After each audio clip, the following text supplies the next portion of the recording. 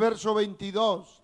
Y aquí una mujer cananea que había salido de aquella región clamaba diciendo, Señor, hijo de David, ten misericordia de mí. Mi hija es gravemente atormentada por un demonio. Su hija estaba postrada, estaba enferma por obra de demonios. Amigos que han venido esta noche y los que nos escuchan por las redes sociales, los demonios existen, el diablo existe. El diablo es el enemigo de usted. Es un personaje siniestro, malvado, perverso, que ha venido a matar, a robar y a destruir.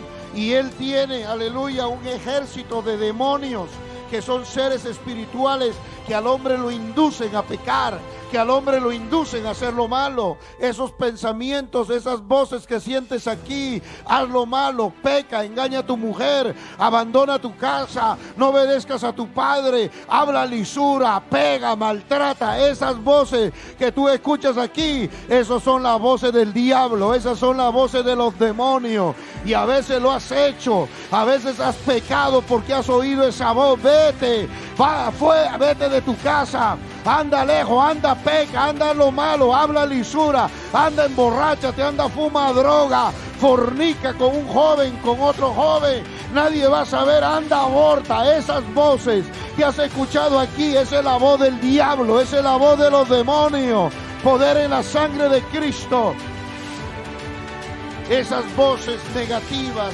que te llevan a faltar el respeto a tu madre, jovencita.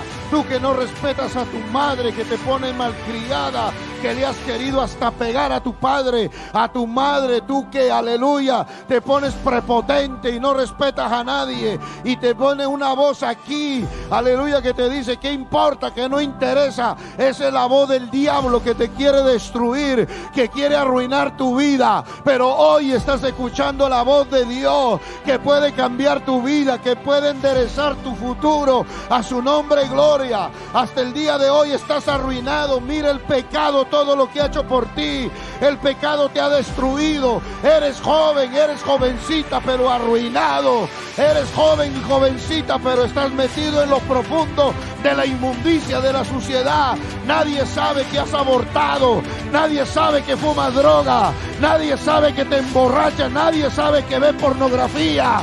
Nadie te ha encontrado viendo eso, pero tú sí lo sabes. Estás hundido en el pecado y no puedes salir. Pero esta noche aquí está.